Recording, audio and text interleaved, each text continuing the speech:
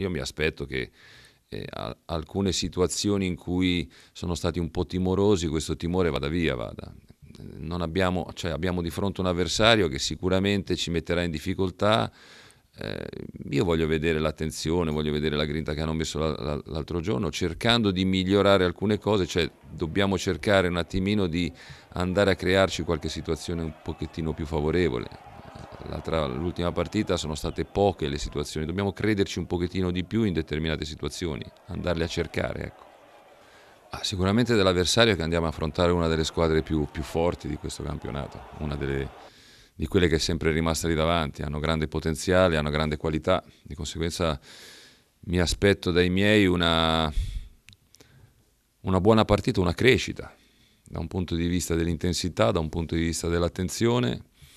sapendo che di fronte abbiamo un avversario che ci può creare delle difficoltà, perché è un avversario che nelle partite che ho, che ho visto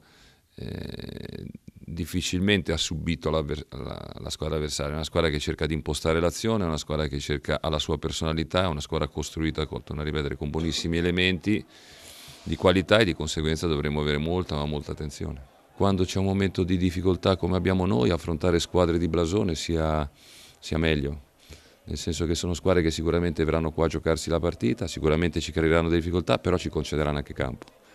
A questo punto è più difficile in questo momento probabilmente trovare una squadra che ti aspetta e riparte che trovare una squadra invece che probabilmente si può anche sbilanciare pensando che tu possa essere un attimino in difficoltà, perché io le partite che ho visto del Pordenone è una squadra che sia in casa fuori casa ha giocato sempre con lo stesso atteggiamento, cioè cercando di fare la partita, cercando di alzare molto gli attaccanti, gli esterni, di conseguenza probabilmente c'è caso che qualche difficoltà, possa, qualche sicuramente spazi in campo ce, possono, ce li possono dare. Abbiamo alcuni giocatori che avevano qualche piccolo problemino, di conseguenza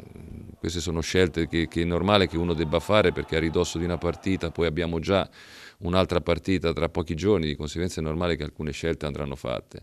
Adesso devo valutare ancora, dobbiamo valutare ancora alcuni giocatori e poi vedremo un attimino. Sicuramente qualche d'uno che ha giocato l'altro giorno sicuramente non giocherà, ma non è una bocciatura, non è assolutamente, è per tenere tutti sulla corda, perché torno a ripetere, specialmente in determinati ruoli dietro siamo tanti, tutti molto validi, di conseguenza può darsi che sicuramente qualche cambio andrà fatto.